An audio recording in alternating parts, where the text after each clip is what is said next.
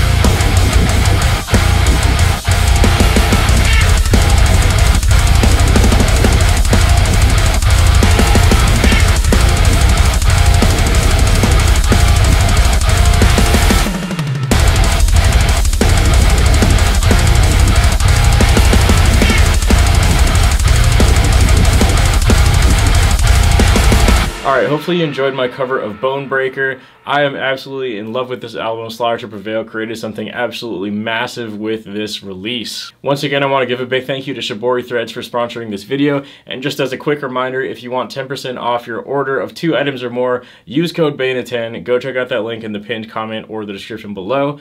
Also, if you're interested in guitar tabs, audio download stems, or a shout out on the screen, you can find all of that over on my Patreon page, which is also linked in the description below. That's all I gotta say. Hope you enjoyed this cover, and I'll see you next time.